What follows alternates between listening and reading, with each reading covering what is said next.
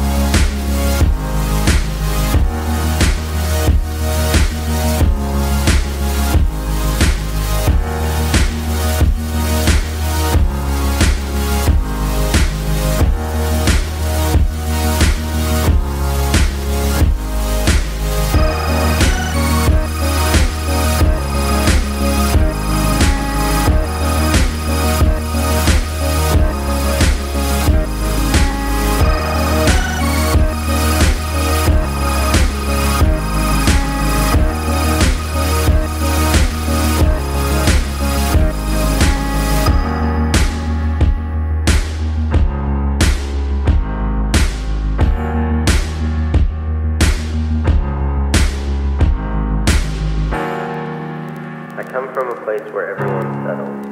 No one has any real big aspirations, and anyone that does usually succumbs to the false reality that they can never make it out.